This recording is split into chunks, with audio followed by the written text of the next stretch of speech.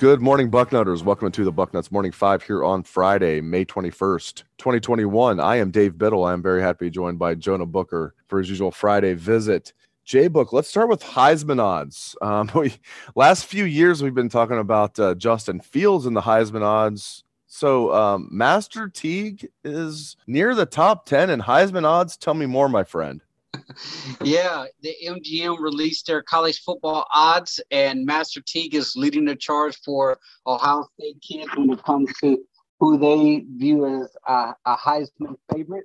So basically, Vegas is telling everyone that they believe that Master Teague is the leader in the clubhouse when it comes to the running back position. You're looking at 28 to 1 odds there that puts him right outside the top 10 in all of college football. I know Ohio State fans are giddy about the younger guys that are that are coming up behind him, believe that they have more potential. But Las Vegas, they're telling you that they think Master Teague is going to be the guy, the premier running back at Ohio State, uh, based off where they set those Heisman odds so far. So, what do you think about that? I mean, let's let's move past the Heisman because I'm sure everybody listening to the show really doesn't care about that right now. The Heisman odds, although it is interesting to look at it. What do you make of Ohio State's running back situation as a whole? Like, not necessarily who takes the first snap of the first play of the season, but who's going to be the main guy this season or the main guys if they go with two guys? Yeah, I. I'm I'm in two categories here, Dave. To be honest with you, I I'm in the mind frame of Henderson and Miyan and maybe a healthy Crowley. It gives you more at the running back position. So my mind says, okay, you know, you could see a, a double-headed monster with Miyan Meatball and TreVeyon Henderson there, especially if you if you listen to the talk about from the coaches uh, after spring ball saying that Henderson's really going to get a shot to be the guy, and Mark Pantoni's calling him baby Saquon Barkley. And if you're getting that type of praise, or if you have that type of player in your program, the mind my mind says play him. I don't care how young he is. If he's that special and he's that gifted have a one-two punch like usc had with LenDale White and reggie bush when it comes to TreVeyon henderson and meatball. But there's also the, the mind frame that ohio state has a history of giving the veterans the benefit of the doubt and maybe playing them over some of the younger guys. And I, I just think that Master T is going to be a guy that starts off early, getting the the bulk of the carries. And if he if he just is adequate, I think he's still going to be in the mix, getting carries.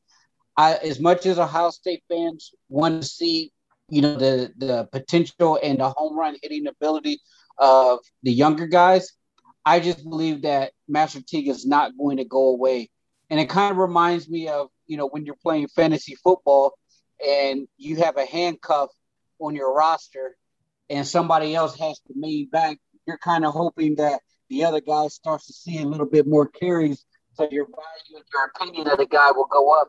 Well, I just think that in this situation, Master Teague is going to get his touches. And Ohio State, they've shown that they're going to give the benefit of the doubt to veteran guys who played football for them before. I really can't remember a time where Ohio State had a veteran player who's had, you know, over 100 plus snaps on the field, just all of a sudden not see see the field any longer, meaning that they were just completely jumped. I'm sure there's someone can point one out, but history tells you that if you're if you have a veteran at Ohio State and he's played meaningful snaps in the past, he's going to get those lion's share of reps until he actually graduates and that's just kind of how Ohio State goes about their business. Some will argue that that's that shouldn't be the case. That the best players should play. Um, so I'm just kind of in the, in the boat of I wouldn't mind seeing those younger guys. I think they have a much more higher ceiling, but I also believe that as much as people want to speak it into existence, Master Teague will get his touches. Jonah, I've been spending way too much time watching the Reds lose baseball games because I missed when Mark Pantoni compared TreVeyon Henderson to Saquon Barkley. I love that. I love that. I mean, I shouldn't have missed that, but I love that. I love that. That tells me everything right there. I mean, talk more. Yeah, it was that. on. It was. It was on a. Um, it was on a inst- on a Twitter, and they they commented back. They had a picture of Henderson or something like that, and Pantoni replied back, "Baby Saquon." Along those lines. So if yes, if, yeah, so if Tony's is throwing that out there, that tells me that Ohio State has something special in the making. So to me, if you got if you got a guy that that is a potential first round NFL running back, play the guy, get him his touches, and see what he can do. And we've seen it time and time again at Ohio State that's a position that you can make an impact right away as a true freshman. We've seen it time and time again. I mean, even Archie, you know, back when that wasn't even a thing, the first time freshmen could even play, Archie made his splash as a true freshman. And then, you know, it snowballed from there when you look at Ohio State running backs, you know, uh, Robert Smith, Maurice Clarett. I'm going to leave guys out, I'm sure. Beanie Wells, you know, J.K. Dobbins, many, many else. I mean, like, I'm, I'm sure I'm leaving guys out, but that's a position that you can not only play right away but make a big splash. So absolutely, uh, I'm expecting big things out of TreVeyon. That's that's awesome that uh, Pantoni compared him to Saquon Barkley. All right, last thing, man. I mean, JTT, where are you at on JTT? Because as I've said on the show, J Book, I'm not optimistic at all on this. Like, I'm not ruling that out. I know he likes Ohio State, but like where are you at on this? Where do you think JTT is going to go, and what percentage chance do you give Ohio State of landing him? Yeah, um, you know, as we were, we've talked about him numerous times, Dave, and for a while I was really bullish. You know, you listen to Brandon Huffman on twenty four seven, and he was pretty steadfast that you know Ohio State has held the lead for the longest period of time. But as we gone through the process since the national championship, the way Nick Saban is operating out here, Dave, it has me shook because Nick Saban is at this point is taking everyone and everybody from any anywhere in the country, from all teams. Um, and it's a point right now that if if you're talking about a guy that you know hasn't been on campus, but Ohio State still leads supposedly you still have to give Ohio State more than a puncher's chance. Get them on campus, show them a good time, and I think Ohio State will have a legitimate shot.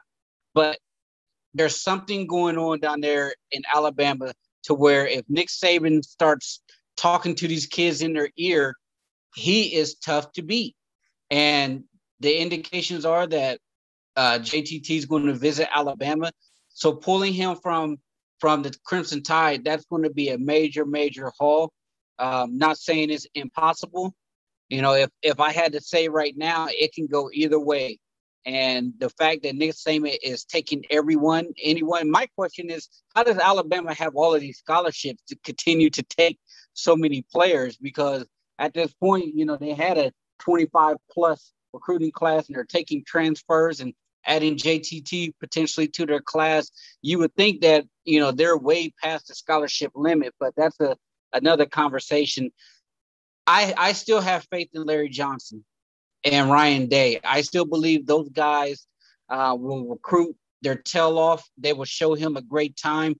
And the thing that Ohio State still has going for them is they have some Washington guys that he's very familiar with on the roster right now. So they'll be able to also show him the red carpet. And I'm sure they've been in contact and in his ear for the longest period of time. So I'm, I'm keeping my fingers crossed, but the first order of business needs to be get him on campus first.